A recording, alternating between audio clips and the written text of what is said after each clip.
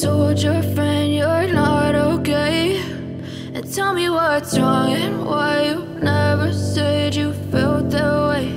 And guess you're trying to stay strong and fake a smile until I look away.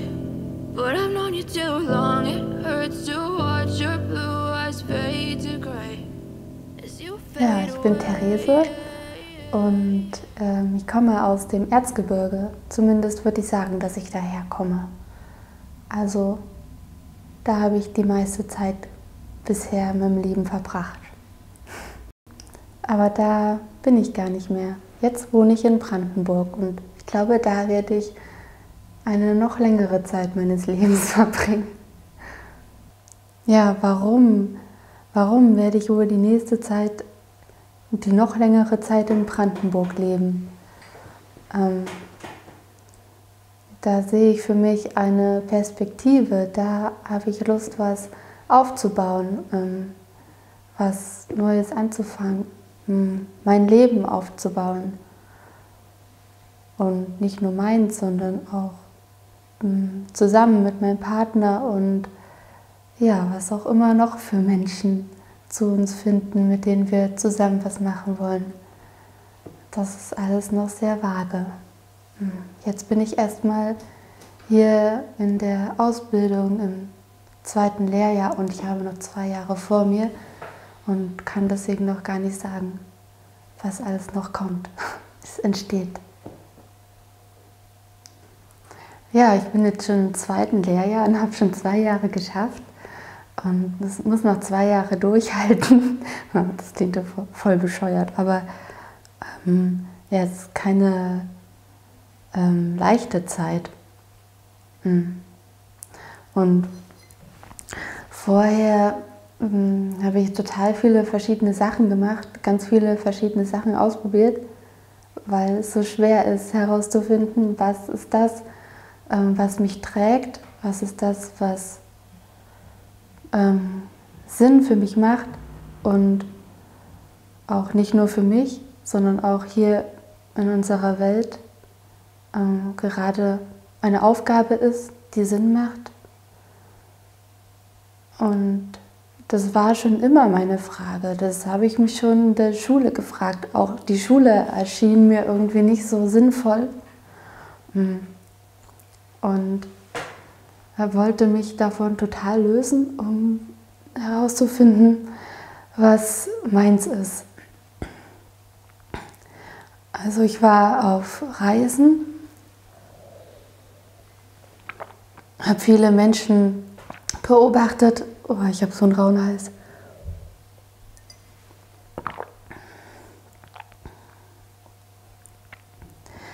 Also, oh. Da kommt das Sprichwort her, da bleibt mir die Spucke weg. Das habe ich noch nie so erlebt. Also, ich war für ein halbes Jahr auf Reisen und habe total viele verschiedene Menschen dabei kennengelernt und ganz viele verschiedene Ar also Arten, wie Menschen leben, wie sie ihr Leben gestaltet haben. Ich kannte nur das von meiner Familie, von den Menschen drumherum und habe immer wieder gemerkt, nein, ich will so nicht leben. Das ist gar nicht, das, das erfüllt mich irgendwie nicht. Das ist, als würde ich in irgendein Schema treten. Und das war das erste Mal, wo ich gesehen habe auf der Reise, wie Menschen einfach auch aus ihrer Freiheit heraus ähm, ihr Leben bestimmt haben. Und ich habe natürlich dann auch gemerkt, was dockt an in mir, wo, wo will ich schnell wieder weiterreisen. Und nach einem halben Jahr hatte ich dann genug davon und dachte so, jetzt muss ich zurück, jetzt muss ich ankommen. Ähm, jetzt will ich das mitnehmen, was ich eingesammelt habe und gucken, was ich daraus mache. Und dann kam ich erstmal in eine große Stadt, Dresden. Kennen kenn ja so viele hm, Menschen, die Stadt. Und da habe ich dann drei oder vier Jahre gelebt und irgendwann gemerkt, ich kann da gar nicht leben. Das ist kein Lebensraum. Das ist einfach nur toter Asphalt und ähm, das ist Lärm, Dreck, mh. Mm, total viel Bewegung, Überreizung. Dort habe ich auch eine Ausbildung gemacht zur Körpertherapeutin. Also das war eine spezielle Massageart, die wir gelernt haben, die sehr tief ähm, in das Gewebe reingeht, das heißt Tiefengewebsmassage. Da kommen so viele Prozesse in äh, seelische Prozesse. Mhm. Ich war die Jüngste in der Ausbildung dort. Alle anderen waren über 40 oder Anfang 40 und ich war knapp über 20 und merkte da das erste Mal so ganz intensiv, boah, ich stehe nicht auf meinen Füßen. Ich, die anderen, die können das schon machen. Die stehen schon im Leben. Die stehen auf beiden Füßen, die sind verwurzelt, die können anderen Menschen zuhören, die können andere Menschen begleiten, die können denen was mitgeben. Und ich, ähm, ich stehe noch nicht. Ich habe die Verbindung noch nicht. Ich brauche da noch was. Und dann ähm, sind ganz viele Zufälle passiert, dass ich herausgefunden habe, ähm, dass es eine Ausbildung gibt, die nicht so ist wie die Schule, die ich kenne, so als ähm, Lernart, Lernort, was ich so verabscheut habe. Und habe dann einfach gesagt, ja, das mache ich jetzt. Ich mache, ich will Gärtner lernen. Das ist das Allergrundlegendste überhaupt, weil irgendwas essen brauche ich. Also alles andere. Ich wollte Schneiderin werden, ich wollte irgendwie ähm, malen oder Kunst machen, Kunst studieren vielleicht auch. Ähm, oder ich wollte in die soziale Richtung gehen. Ich habe auch mal ein FSJ angefangen und merkte irgendwie, ähm, nein, also das merkte immer wieder, nein, das ist es nicht, sondern ich will etwas mit meinen Händen machen, ähm, was am Leben dran ist und wovon ich, also erstmal nur von, von mir selber betrachtet, wovon ich auch leben kann. Die Grundlage und die war es, also Ernährung. Alle brauchen das und ähm, um etwas Gutes machen zu können, brauche ich gutes Essen. ähm, und auch dieser Aspekt, ähm, der taucht dann auch für mich auf, nämlich dieses Verbundensein mit dem Boden, also den Kontakt zum Boden, den ich, wo ich ja merkte, den habe ich nicht. Ich stehe nicht auf meinen Füßen in der Welt. Ähm, das tauchte dann auch auf. Ja, diese große, diese große Sehnsucht nach Verbundenheit, Verwurzelung. Ja, auch mit den Jahreszeiten, mit Rhythmen. In der Stadt, da ist ein ganz anderer Rhythmus hm, als eigentlich ähm, in der Natur. Und man kann sich dem Stadtrhythmus schwer entziehen. Es ist wie ein, eine große Flut, wie eine Welle, wo man einfach mitgerissen wird und wo es viel Kraft braucht, immer wieder äh, herauszutreten, sich hinzustellen und durchzuatmen und zu gucken wieder, wo stehe ich eigentlich. Das ist ganz schwer.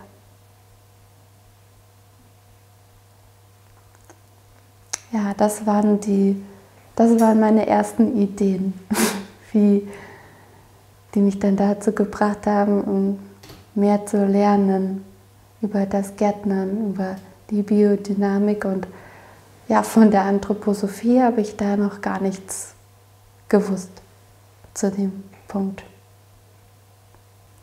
Ja, nachdem für mich dann total klar war, ich muss diese Ausbildung ähm, anfangen, war es aber gerade dieser Zeitpunkt, wo eigentlich die Ausbildung schon angefangen hat für das Jahr. Äh, es war schon im März, da fängt das an. Ähm, und ich hatte keine Zeit mehr, irgendeinen Hof zu finden. Ähm, mir war klar, ich muss sofort jetzt meine Sachen packen und irgendwo neu anfangen. Und ich habe nur drei Höfe gefunden, die mich noch nehmen konnten. Ich habe die sofort alle besucht und hatte daher keine große Auswahl. Ich wollte eigentlich gar nicht so weit weg, aber dann bin ich einfach von Sachsen nach Brandenburg gegangen und war dann jetzt zwei Jahre auf einer Gärtnerei. Da gab es keine Tiere. Es war auch nicht so ein typischer Hof, wie man es so kennt, mit den verschiedenen Organismen, mit Tierhaltung, Acker und Gemüse, was so zusammenläuft, sondern es gab nur das Gemüse. Ähm ja, und jetzt steht für mich ein Hofwechsel an. Und ich hoffe, ich muss nicht so weit wegwechseln. Hm. Eigentlich lebe ich gerade in zwei Höfen gleichzeitig. Also einerseits arbeite ich auf dem Hof gerade, ähm, wo ich jetzt gerade so noch bin. Und andererseits bin ich aber schon dabei, selber etwas aufzubauen. Ich habe einen Menschen kennengelernt, mit dem ich jetzt zusammen lebe, der hat einen ganz kleinen Hof und ich bin da jetzt mit dazugezogen. Der ist gleich in der Nähe von dem, wo ich meine Ausbildung mache. Und eigentlich tue ich gerade beides. Ich lerne auf dem Hof der Ausbildung oder ist ja dieser Gemüsebetrieb, ähm, wie es geht und kann gleichzeitig schon die Sachen äh, direkt mitnehmen und schon dort in dem Umfeld in unserem Garten ausprobieren und dann einbringen. Ja, es sind eigentlich zwei Welten. Und ich weiß, dass ich auf dem kleinen Hof, wo ich jetzt lebe, äh, bleiben werde, auch wenn ich jetzt einen Hofwechsel vornehme. Ähm, das ist jetzt mein Zuhause. Ich bin angekommen, endlich, nach Jahren von Suchen. Und ähm, ich habe einen Ort, wo ich was aufbauen möchte, wo ich bleiben will und der viele Möglichkeiten bereitet.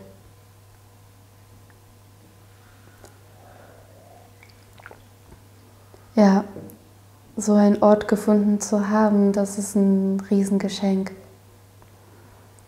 Ich denke, dass ganz viele Menschen gar nicht die Möglichkeit haben, ihren Ort so intensiv zu suchen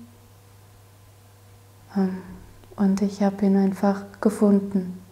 Ganz zufällig. Also nicht zufällig, glaube ich. Vielleicht ist es einfach notwendig für mich, dass ich da jetzt dann auch hingehe. Ja. Ja, aber noch habe ich ja noch zwei Jahre vor mir, noch zwei Jahre, äh, wo ich noch mal Sachen in meinen großen Rucksack einpacke also so sinnbildlich gesehen. Ähm, neue Erfahrungen und ja, mich noch ein bisschen weiterentwickeln kann.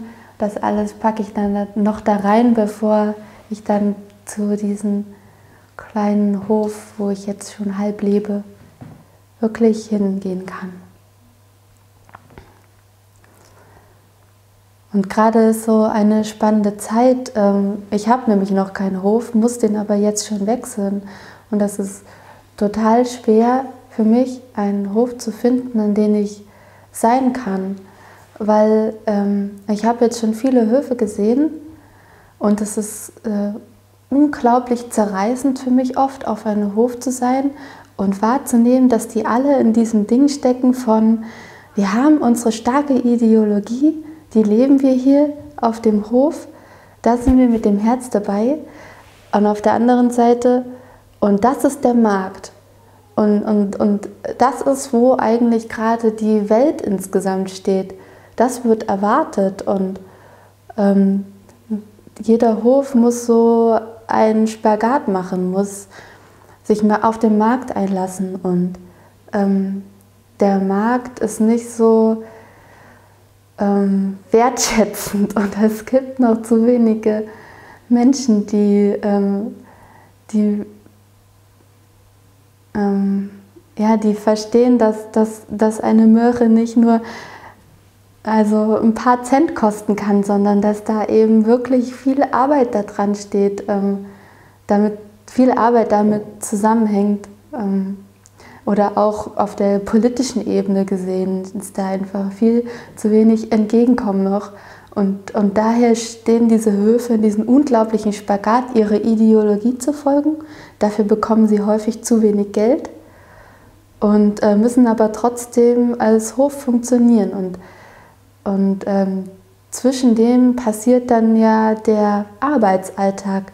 Also aus, aus ähm, diesem Druck heraus ähm, zu überleben, zu bestehen, auch ähm, Stress. Und aus diesem Stress auch Konflikte so miteinander, ähm, viele unbewusste Äußerungen, ähm, gerade auch wenn Hierarchien auch auf einem Hof in so eine Stresssituation ähm, noch so richtig hervortreten. Hm.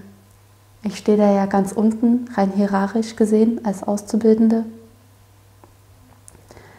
Ja, und das ist echt ein großes Spannungsfeld. Es gibt diese Idylle und es gibt auch ähm, die Momente des totalen Einklangs, so im Miteinander mit den Menschen, auch mit der Arbeit, ein totales Verbinden damit nach stundenlangen Jäten, ähm, ein Finden zu sich, zu seinem Körper, zu der Bewegung, zu dem, wie mache ich das mit dem Messer am feinsten, am, schn am schnellsten natürlich auch, also, aber das kommt auch auf diesen inneren Rhythmus drauf an. Wo ist mein Rhythmus? Wie ist mein Tempo? Das meine ich jetzt mit Schnelligkeit. Ähm, das, das wird dann, wenn man es drauf hat, von, von alleine zügig. So. Aber ähm, ja, dieser innere Rhythmus, dann die Pflanze immer mehr, wie die Pflanze dort ist. Und solche Momente gibt es natürlich auch. Und das sind dann die nähernden Momente.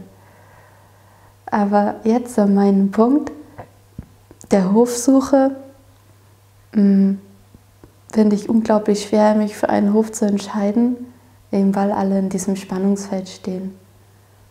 Und das unglaublich viel Kraft kostet. Und es auch unglaublich viel Arbeit ist. Ich muss mich jetzt entscheiden, wo ich als nächstes hingehe. Ja.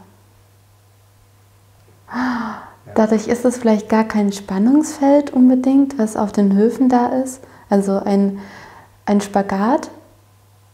Also es ist vielleicht kein Spagat unbedingt zwischen dem ähm, Kampf um das Bestehen, um das am Markt bleiben und zwischen dem, ähm, das ist unsere Idee, für die stehen wir, sondern vielleicht ist genau ähm, die Mhm. Vielleicht ist es keine Spannung, sondern es ist ein Miteinander. Oder es ist beides wichtig, um auf dem Boden stehen zu bleiben. Nicht abzuheben in der Idee und aber ähm, auch nicht zu verbiegen für den Markt. Hm. Also jeder Mensch darf so einen Tanz machen ein Tanz zwischen ähm, dem, ich tue etwas, was von mir erwartet wird, von der Welt, ohne dass ich das nicht tun könnte, was meine Idee ist, was meine Ideologie ist. Das ist wie ein Tanz. Und eigentlich machen wir alle Menschen den Tanz. Ob auf einem Hof oder nicht. Ja, es könnte ein Zerreißen, aber es könnte auch ein Tanz sein. Das ist ein schönes Bild. Vielleicht finde ich jetzt besser einen neuen Hof. ja. Wir können uns unsere Idee immer annähern. Also das ist unser Weg, unser Ziel oder unsere Kraft auch. Hm. Aber wir sind alle Menschen und nicht perfekt. Und wir leben jetzt auf der Welt in den Umständen, die eben wir vorfinden. Und mit diesen können wir hantieren. Und indem wir uns abkapseln und, und und unsere ähm, Ideologie verherrlichen, dann nützt eigentlich niemandem was davon. Weil dann sind, stehen wir nicht damit in der Welt und ähm, können das nicht an die Menschen weitergeben. Also wie das Gemüse zum Beispiel. Ähm, sondern dann, dann sind wir abgekapselt, isoliert. Ja, das ist auch nicht der Sinn. Hm. Was ist meine Mission? Darüber habe ich schon oft nachgedacht. Eigentlich steht ganz zentral immer wieder, da komme ich, wenn ich darüber nachdenke, immer wieder hin. Meine Mission ist Wahrhaftigkeit, also mit der Wahrheit zu sein. Ähm, wenn ich mit meiner Wahrheit bin, dann habe ich gemerkt, dass Menschen um mich herum das spüren können. Und ich möchte ähm, niemandem sagen, wie man leben kann, ähm, sondern ich möchte, ich möchte, dass die Wahrheit einfach strahlt. Und ähm, wenn ich andere Menschen sehe, die etwas tun, ähm, was sie erfüllt, was für die ihre Wahrheit ist, dann ist das spürbar, das steckt an. Das gibt auch Kraft, so miteinander sich darüber auszutauschen oder das einfach nur zu sehen und wahrzunehmen. Genau, also an der Wahrheit sein, die Wahrheit herausfinden, das, das ist, warum ich hier auf der Welt bin. Aber wie genau es aussehen wird, ähm, da bin ich im Prozess. Ich weiß noch nicht genau, was, meine, was mein Weg ist. Also ich weiß noch nicht, was ich damit anfange, wenn ich die Ausbildung fertig habe. Klar, ich baue Gemüse an, das möchte ich erstmal selber essen. ähm, aber wie groß wird unser Hof? Wie viele Menschen lassen wir daran teilhaben? Ähm, wie viele Kinder können da leben? Leben dort Kinder? Dürfen dort Kinder aufwachsen? Wen, ja, welche Menschen beziehen wir mit ein? Das sind alles noch Fragen, die, ja, die müssen sich noch entwickeln, die, die muss ich noch in mir bewegen. Kann ich noch nicht sagen. Aber ich muss bei meiner Wahrheit bleiben, um das herauszufinden. Ja, aber ich merke schon, dass, ähm, dass es ein guter Weg ist, den ich eingeschlagen habe. Also weil dieses Tun einfach so wahrhaftig ist. Oh, wie soll ich das beschreiben, warum das so ist? Aber hm, es erfüllt mich. Hm. Jetzt sind wir ja gerade hier, mein, mein Lehrjahr, auf dem Dottenfelder Hof zu der Winterschule und bekommen jeden Tag so viel, so viel ähm, geschenkt. Wir können uns von früh bis abend ähm, anhören und gezeigt bekommen, äh, wie der Hof hier funktioniert. Ähm, aber auch noch viele andere Themen, auch über die Anthroposophie oder in andere anthroposophische Themen ähm, werden wir hineingeführt. Und auch da merke ich, da steckt so viel Wahrheit drin. Bei vielen Sachen, die mir hier einfach erzählt werden, spüre ich innerlich, das dockt an, das, das kenne ich irgendwie. Also das ist mir irgendwie bekannt, das kann ich irgendwie nachempfinden. Und auch da ist es diese Ursprünglichkeit, die Ursprünglichkeit, wie wir als Menschen auf der Welt sind. Wir sind verbunden mit dem, mit dem Tierreich, mit dem Pflanzenreich und ähm, wir haben die gestalterische Kraft, ähm, weil wir ein Bewusstsein haben, ähm, uns, uns ähm, einzubringen. Wir können das reflektieren. Ähm, genau, wir haben diese gestaltende Kraft.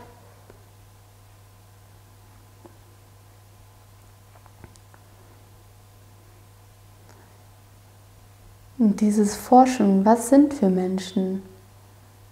Wie haben wir uns entwickelt und ähm, was steckt alles in uns? Das ist auch Wahrhaftigkeit.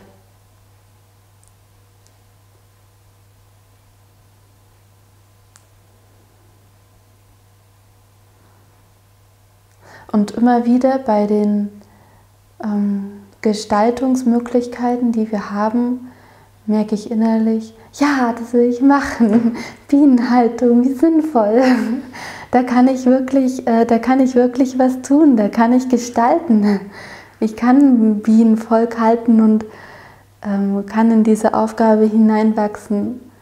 Und ähm, ich kann schöne Hecken pflanzen die total viel nützen, die in Prozesse und Kreisläufe aufgehoben sind und wichtig sind. Ich kann als Mensch gestalten.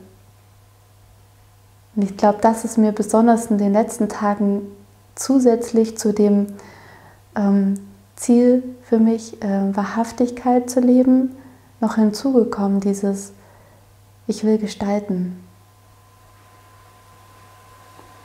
Hm. Wow. Ja. das war aber schön. Kannst gut lügen. Äh, das ist nicht gelogen. Das war ein Scherz.